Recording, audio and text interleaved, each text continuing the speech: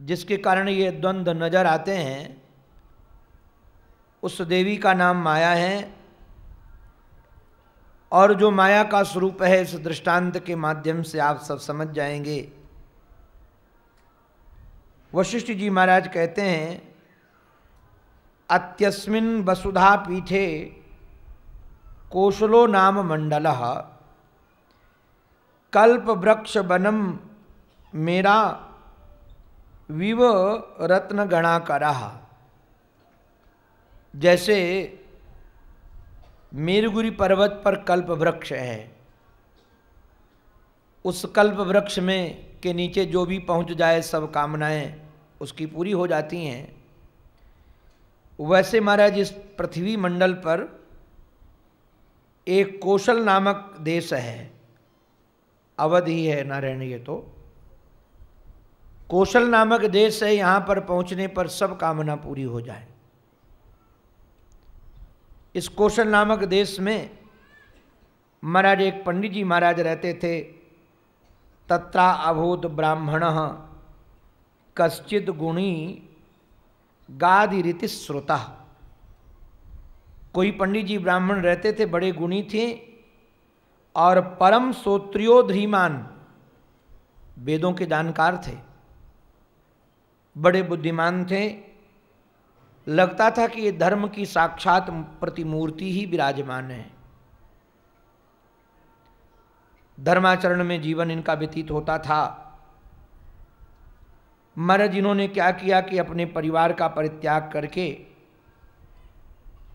अपने स्वरूप को जानने के लिए ही किमप्यभिमतम कार्यम विनिधाय सुचेत सुचेत चेतसी अपने चित्त में ही मानो संकल्प लेकर के बंधु वृंदान विनिष्क्रम्य तपस तप तो बनम यजऊ अपने बंधुओं को छोड़ करके, बंधु बांधवों का परित्याग करके ये श्रीमान जी तप करने के लिए निकल गए पंडित जी महाराज।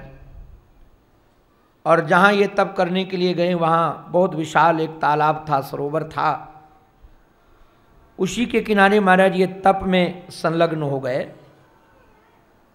यहाँ वर्णन किया गया, आठ मास तक ये महाराज एक चिल्लू पानी पी लेते थे और सरोवर में खड़े होकर के ही तप कर रहे थे।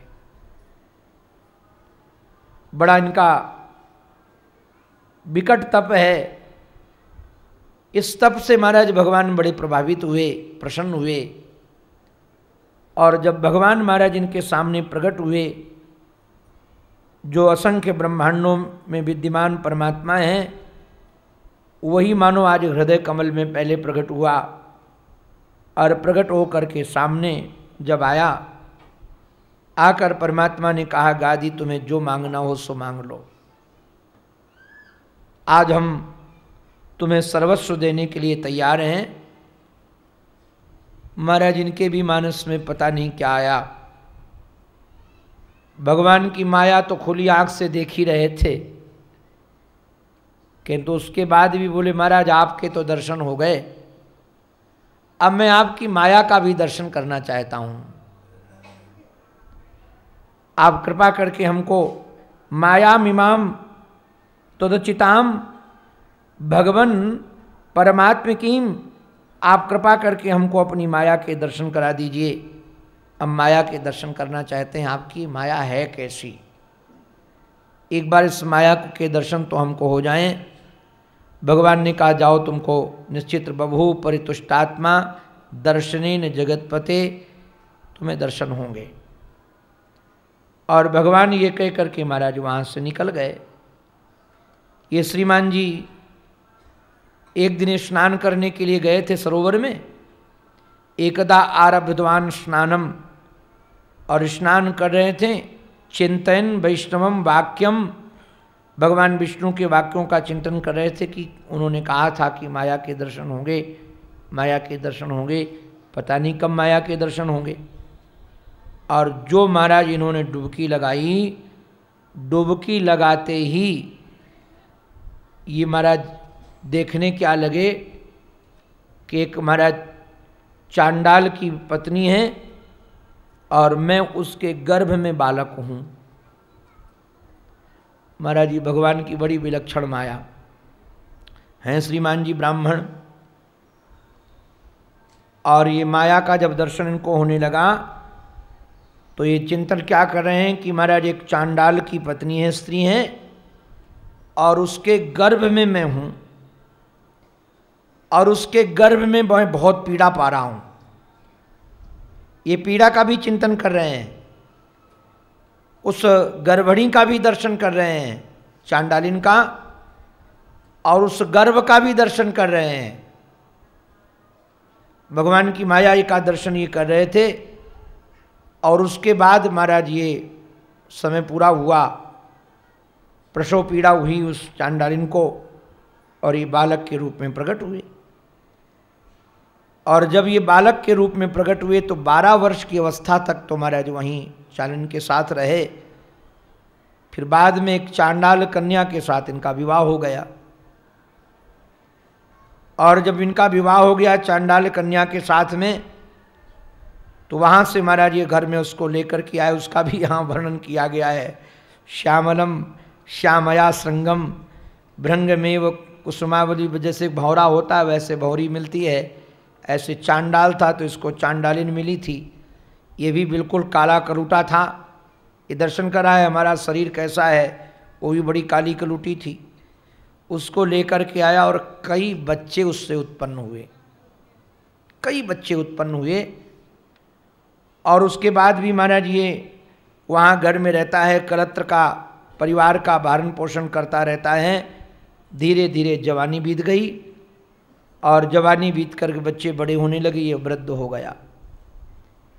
अब ये जब वृद्धावस्था को महाराज सनईर जर्जरताम यातम, महाराज जब धीरे धीरे जर्जता वृद्धावस्था को ये प्राप्त हो गया तो वृद्धावस्था को प्राप्त हो जाने के बाद इसको बहुत दुख मिला वहाँ।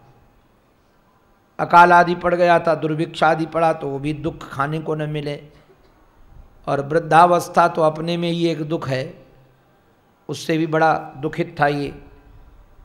वहाँ से निकल करके महाराज एक देश में पहुँचा, श्रीमतीपुरी में। वहाँ बड़ा दिव्य नगर था, ये तो गाँव का रहने वाला उस नगर को महाराज ये देख रहा था। और जब ये नगर को देख रहा था, बड़ा प्रसन्न हो रहा था, तब तक एक सामने से एक हाथी आया। सजा दजा हाथी था, और हाथी ने महाराज उसका हाथ पकड़ लिया। उसके साथ सब सेना भी थी, मंत्रिमंडल भी थे और इसको राजा बना दिया गया।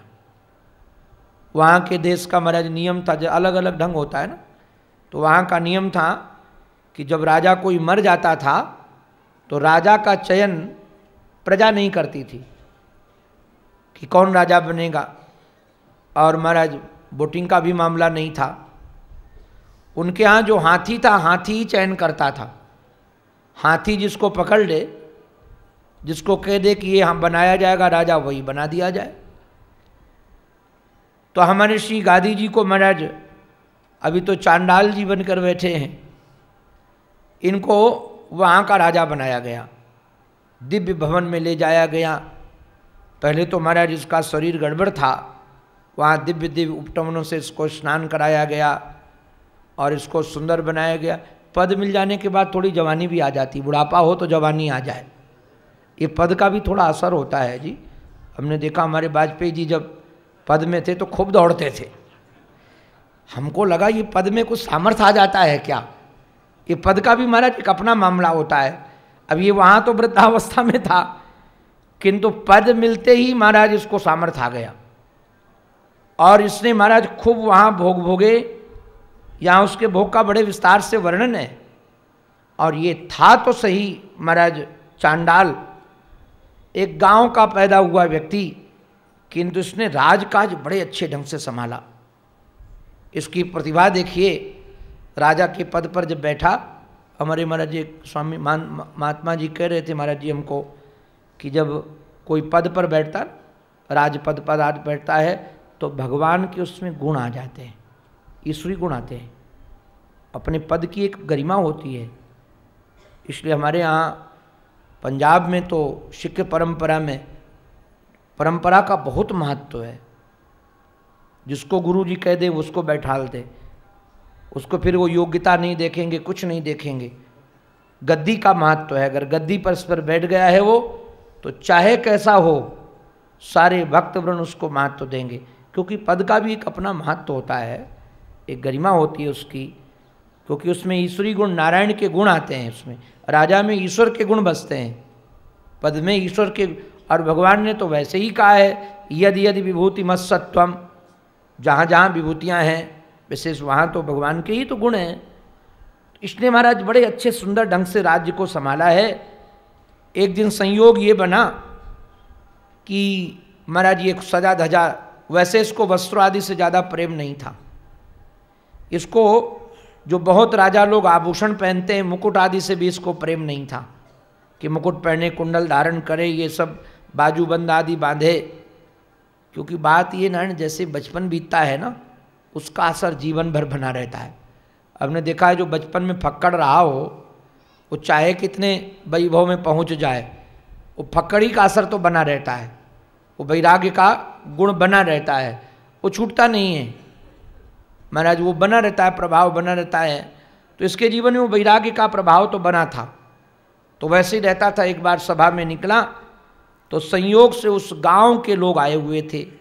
वो चांडाल जो परंपरा का था, उस परंपरा के लोग बहुत आए थे, उनको तो पता नहीं था कि महाराज, ये हमारा वंश वाला यहाँ राजा बन गया है। इसका नाम भी यहाँ बदल गया था, वहाँ गाँव का नाम दूसरा था। और ये छोटे लोगों को महाराज होता है जब किसी को बड़े पद पर देखते तो पुराना ही नाम लेकर के नाम लेंगे। अभी एक हमारे पास दक्षिण के महात्मा है हरिद्वार में तो बड़े बड़े महात्माओं के घर का नाम ले लेके पुकार रहे थे वो। तो हमने कहा कि महाराज ये वो महात्मा बन गए, आप पुराना नाम ले लेके क्यों पुकार रहे हो? पुराने पुराने महाराज, वो पूज्य स्वामी सत्यमित्रानंद जी महाराज की महामलेश्वर जी का घर का नाम लेके पुकारने लगे। वृद्ध महात्मा दक्षिण के थे, हम भोजन करा रहे थे। फिर हमने हाथ जोड़ करके हमने कहा, महाराज जी, अरे बोले, आप जानते हो नहीं हमारा पहले का पुराना यार है। तो मैंने, मैं देखा, महाराज, वो दिखाने के लिए पुराना नाम इसलिए लेते हैं कि मैं इससे बहुत पुराना परिचित हूँ। मैं पुराना हूँ, ये नया है। महाराज देखेंगे, कह देंगे, जब महाराज देखते हम जो महाराज अभिमान से पके हुए लोग इस ढंग से होते हैं, तुरंत पुराना नाम लेंगे। और पुराना, अरे बोले, आज तो थोड़ी जानता हूँ मैं। जब ये नंगा घूमता था, तब से मैं परिचित हूँ। ये नंगा घूमता था, तब से मैं परिचित हूँ। महाराज, वो अपना बड़प्पन दिखाने के लिए ही ये व्यापार होता है। अपना बड़प्पन दिखाने के लिए, अपने आयु का बड़प्पन दिखाने के लिए, अपने पद का बड़प्पन दिखाने के लिए।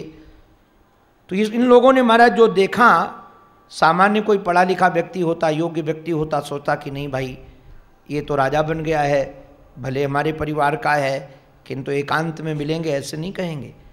किंतु महाराज, ये चांडाल परिवार के ठहरे तो चांडाल है जैसा व्यवहार। ये सब पुकारने लगे, पुराना नाम ले ले करके और पुकारने लगे तो सब मंत्रीगण सोचने लगे, मामला क्या है? और उस राष्ट्र में रहने वाले अधिकतर ब्राह्मण लोग थे, सदाचारी लोग। उन सब लोगों ने सोचा, ये चांडाल परिवार का है क्या? अभी तक किसी ने पूछा ही नहीं था, चांडाल परिवार का है क्या? और इसको भी महाराज अपनी ममता जग गई। ममता क्या जगी? अपने गाँव वाले लोग आते हैं, थोड़ी ममता तो जग जाती है ना। थोड़ा याद आती है बचपन की। ममता जगी तो ये भी महाराज, उनको सबको बुला लिया कि आ जाओ हमारे यहाँ, हमारे साथ बैठो, हमारे साथ खाओ। सबको बुला लिया। राज्य में ये चर्चा हो गई कि राम राम में तो आठ साल से एक चांडाल राजा के अंदर रह रहे थे। अब तो हमको जीने का अधिकार नहीं है। और वो लोग इतने अपने घृणा भाव से अपने से भर गए कि चिता बनने लगी और सब कूद कूद करके राष्ट्र के लोग जलने लगे। यहाँ बड़े विस्तार से वर्णन है कितने हज़ारों लोग जल गए। ये महाराज जनता का तो ऐसे ही खेल है, एक तरफ़ चल पड़े कोई तो ये भावावेश में बिना विचारे भी चल पड़ते। क्या हिंदुस्तान भेड़िया दसान एक भेड़िया यदि कुआँ में गिर जाए तो ये मूर्ख विचार भी नहीं करेंगे, तुरंत गिर जाएँगे। क्यों गिर गए? हम कई बार देखते हैं, जब मैं पढ़ता था, उस समय आरक्षण लगा तो जाने कितने बच्चे मर गए थे जला जला के अपने को। अब क्या मिला भाई जलने से? तो एक कोई बाबरा जल गया तो अपने भी जलना प्रारंभ कर दिए। अब क्या मिलेगा, क्यों जलना है, इसका कोई सोचना नहीं है। ये नकटों का समाज है जी। एक किसी ने नाक कटा ली तो कहा, हमको भगवान के दर्शन हो गए तो समाज ही चल गया। महाराज, समाज ही चल गया। तो यहाँ का तो खेल बड़ा विलक्षण है। हमारे एक महात्मा सुनाते हैं, माथे मथुरा नाथ विराजय कानन कुंडल खटके, और हाथन में जगजीवन स्वामी वांगे वाला नहीं सुनाएँगे। आप लोग जान जाइए। तो महात्मा बड़े ढंग से सुनाते जहाँ जहाँ गए, बोले, भाई, आप ऐसा करो, ये तिलक लगाने लगो तो भगवान मिल जाएँगे। ये माला पहनने लगो तो भगवान मिल जाएँगे। गोरखनाथ का कान छिदवा लो तो भगवान मिल जाएँगे। तो कान छिदवा लिया। आप मुसलमानी कर लो तो खुदा मिल जाएगा। तो मुसलमानी करवा ली। तो महाराज ये तो देखा देखी जहाँ चल पड़े। इनको लगा महाराज जब प्राश्चित से ही शांति मिलेगी। तो ये कीर नगर के जितने लोग थे महाराज, सब आत्मदाह करने लगे, सब कून कून करके मरने लगे। और जब ये नारायण कून कून करके मरने लगे तो ये देख करके अब इतने दिन से समाज में रहा था, भले किरात परिवार में पला था तो कुछ चित्त में सतोगुण विचार तो आया। इसको लगा कि अरे, मेरी वजह से सब इतने मर रहे हैं तो ये भी महाराज छलांग लगा गया। और छलांग जब लगा गया, चिता में तो ये मर गया। स्वाभाविक है, मृत्यु होगी, शरीर जल गया। अब ये देख रहा है कि जल गया। तो अगर ये जला होता तो देखता कौन? अब जरा इस दृष्टांत को देखिएगा, समझिएगा। इसने देखा कि जल गया और जो जलने लगा, सो इसकी महाराज जो जल में डुबकी लगाकर चिंतन कर रहा था तो तुरंत महाराज इस चेतना जगी। तो चेतना जगी तो जल में खड़ा था। और जल में खड़ा था, सोचने लगा, कमाल हो गया, मैं सो भी नहीं रहा था। कि सो रहा होता तो स्वप्न देखता। ये मामला क्या है? ये कौन नगर बन गया और कैसे राजा बन गया मैं ही चांडाल बन गया। और आठ वर्ष तक मेरे को वहाँ राज्य करने का भी कीर्देश में मिला। ये मेरा चिंतन करा था, किंतु गुत्थियाँ कोई खुल नहीं रही थी उसकी। कुछ समझ में नहीं आता, रात दिन चिंतन करता था, ये क्या देखा है? जैसे महाराज जनक ने देखा था, ये सत्य कि वो सत्य। वही दशा हुई कि जागृत जगत देख रहा हूँ, ये सत्य है कि जो मैंने देखा है, वो सत्य है। अब कुछ समझ नहीं पा रहा था। एक दिन संयोग से एक महाराज उनके घर में अतिथि आ गए। वो पंडित जी के जब अतिथि का आगमन हो गया, इन्होंने अतिथि का बहुत स्वागत किया। हमारे यहाँ अतिथि के स्वागत करने की परंपरा ही है। और स्वागत करने के बाद उन्होंने कहा कि एक बात बताओ, आप इतने रुग्ण कैसे हैं, दुबले पतले हैं? मुझे समझ में नहीं आ रहा, आपको आपको कोई पीड़ा है? आप बताओ तो सही। तो इन्होंने महाराज बताना प्रारंभ किया कि जिस राज्य में मैं रहता था, उस राज्य में एक चांडाल महाराज राजा बन गया था और राजा चांडाल बन जाने के कारण वो सब सारी घटना सुनाई इन्होंने कि हाथी ने पकड़ा और ऐसा हुआ ऐसा हुआ। ये ब्राह्मण की जिज्ञासा तो और बढ़ गई कि मामला क्या? ये तो मैंने देखा ही था, ये तो मेरा ही रूप था कि वहाँ ऐसे ऐसे घटना घटी थी। फिर वो राजा भी जल गया। तो बात यह है कि हमने भी हमारा चांद्रायण व्रत किए और वहाँ से प्राश्चित करने के लिए मैं प्रयाग में आया था। और प्रयाग में आकर के हमने प्राश्चित किया है और प्राश्चित करके चंद्रायण व्रत कर रहा हूँ। तो ये तृतीय चंद्रायण व्रत है जब मैं आपके पास में आया हूँ। तो चंद्रायण व्रत होने के कारण ही शरीर दुर्बल हो गया है। जब महाराज इन्होंने ये बताया तो कहा कि आप ज़रा बताओ तो सही, वो देश कहाँ पर है? जहाँ आप आए हो? तो उस महाराज अतिथि ने सब बता दिया कि वो भूतमंडल नामक स्थान है, जहाँ पर ये देश है, और वहाँ ऐसे ऐसे राजा बना था, ऐसे ऐसे गाँव में उत्पन्न हुआ था। बोले काम करो, वहाँ हमको ले चलो। मैं देखना चाहता हूँ। तो गादी नामक ये ब्राह्मण महाराज वहाँ से निकल करके ये गया और जा कर के जिस गाँव में महाराज पैदा हुआ था चांडाल के घर में, वहाँ गया तो चांडाल का घर भी मिला। बड़े विस्तार से वर्णन किया गया है कि महाराज वहाँ घर भी मिला, घर की दीवारें टूट गई थी, कोई रहने वाला नहीं था उस समय, बच्चे भी मर गए थे, परिवार भी मर गया था उसका। तो घर की बड़ी दयनीय दशा थी। ऐसा महाराज वर्णन किया, विभत्स वर्णन किया यहाँ वहाँ कैसे हड्डियाँ पड़ी हैं, जैसे जो खाता था, कैसे कुत्ते चिगार करते हैं। हमारे वशिष्ठ जी महाराज ने ऐसा वर्णन किया है उसका। लगता है जैसे साकार दर्शन करके ही वर्णन कर रहे हों। तो इन्होंने कहा कि महाराज इस प्रकार से सबका दर्शन किया और सब स्थान दर्शन करके सब उनको स्मृति आ रही थी कि मैं यहाँ रहा था, मैं यहाँ रहा था। ये हमारे पुराने पुराने लोग थे, जब मैं चांडाल बना था तो इनके साथ हमारा बैठना होता था, इनके साथ उठना होता था, इनके साथ ऐसी चर्चा होती थी। सब स्मृति उसको आई और वहाँ से महाराज निकल करके जब गया, जिस देश में राजा बना था तो वहाँ भी पहुँचा और वहाँ भी पहुँचा तो जो जो उसने देखा था, सब उसको नज़र आ रहा था। और जब सब नज़र आ रहा था उसको कि यहाँ मैं इतने दिन रहा, ऐसे रहा, ऐसे हमारी यहाँ सब लोग जल रहे थे। मैं भी यहाँ जल गया। वहाँ महाराज लोगों के जले हुए मांस की गंध भी आ रही थी। वहाँ मांस के जो लोग जल गए थे, हड्डी मांस की गड़ी हुई गंध आ रही थी। इसने उसका भी दर्शन किया और दर्शन करके आया तो ये समझ नहीं पाया कि महाराज यदि स्वप्न के समान था तो फिर ये दिखना नहीं चाहिए था। और ये दिख रहा है तो स्वप्न के समान कैसे है? ये कुछ समझ में आ नहीं रहा है। तो आया और जब महाराज वहाँ से ब्राह्मण आकर के गादी वापस आया और वापस आकर के फिर इसने आराधना प्रारंभ की। क्योंकि दूसरा कोई साधन था नहीं। हमारे यहाँ की जो परंपरा यही जब कोई बात समझ में नहीं आती है तो साधन करो, भजन करो भाई, अंतकरण पवित्र होगा तो बात समझ में आ जाएगी। नारायण की इन्होंने आराधना प्रारंभ कर दी और नारायण की जब नारायण आराधना इन्होंने प्रारंभ की तो नारायण इनसे बड़े प्रसन्न हुए और प्रसन्न होकर के इनके सामने प्रकट हुए। और जब प्रकट हुए भगवान इनके सामने, तब इन्होंने कहा कि महाराज, ये समझ में नहीं आया कि क्या है। तो बोले, यही तो हम दिखाना चाहते थे, इसी का नाम माया है। ऐसा ही माया महती, तेन में चक्रधारिणा। हे चक्रधारी, मैंने तुम्हारी माया देख ली। तुम्हारी माया देख ली, तद इदानीम तथायतनम करिष्य गिरिकंदरे। अब तो हम यहीं गिरिकंदरा में आकर भजन करेंगे।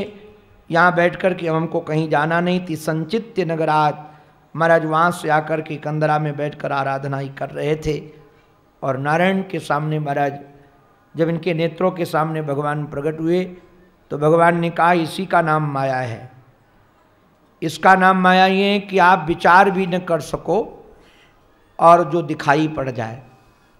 अघटन घटना घटियसी, पटियसी माया।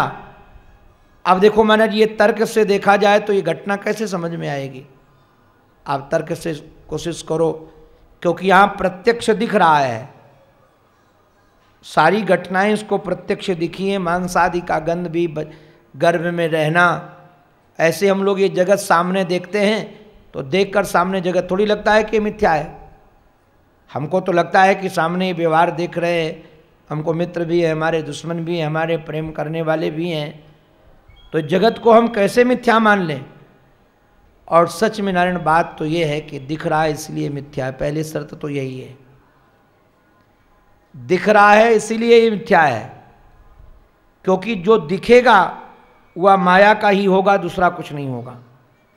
भगवान ने महाराज इनको बड़े सुंदर ढंग से भगवान गाधी के सामने सब इन प्रसंगों को प्रकट करते हैं कि अरे गाधी तूने माया देखने के लिए हमसे प्रार्थना की थी कि हम माया देखना चाहते हैं तो मैंने तुम्हें माला, माया दिखा दी। कि पहले तुमको यहाँ दिखा दिया, फिर वैसा ही जगत दिखा भी दिया। किंतु एक बात मैं कहूँ आपको कहा, बोलो, प्रभु, क्या कहना चाहते हो? बोले, जो अतिथि आए थे, वो भी जूठा था। जो अतिथि तुम्हारे घर में आए थे, वो भी स्वप्न था।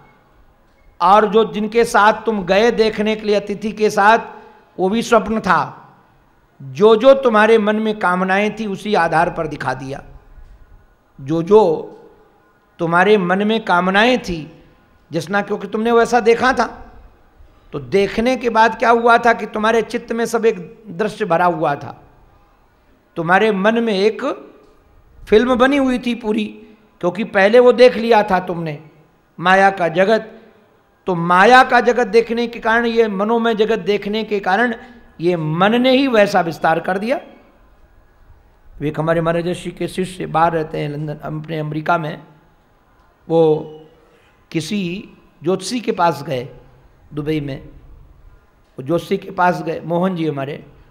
तो जोशी के पास गए और जोशी के पास जो गए तो महाराज जोशी ने उनके घर में जो जो घटनाएँ चल रही थी जो जो भाइयों के बीच में व्यवहार चल रहा था, बेटे के यहाँ जो चल रहा था, वो सब उसने बता दिया। जो इतना बताया तो वो जोशी के इतने दीवाने बने वो, इतने दीवाने बने। मेरे को फ़ोन करके कहते, महाराज जी, उसको तो सब पता है। अब उसने ये भी बताया, इसके बाद ये होगा, इसके बाद ये होगा, इसके बाद ये होगा। हमने कहा, ये सब झूठा है। वो जोशी के चक्कर में तो मत पड़ना। उन्होंने कहा, महाराज जी, कमाल की बात करो जोशी के चक्कर में क्यों ना पड़े? उन्होंने सब प्रत्यक्ष बता दिया है।